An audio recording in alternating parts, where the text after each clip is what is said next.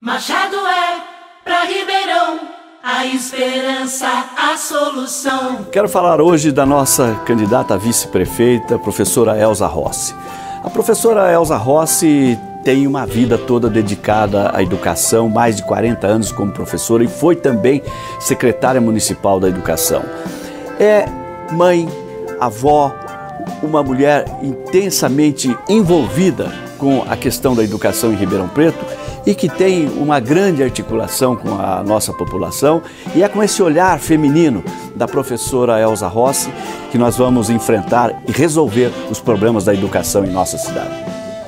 Para mim, é uma alegria e uma honra fazer parte dessa caminhada ao lado de um homem simples, mas ao mesmo tempo com uma inteligência e determinação incomum. E é com a alma que o Machado vai se dedicar na prefeitura e será um dos melhores prefeitos da história de Ribeirão Preto.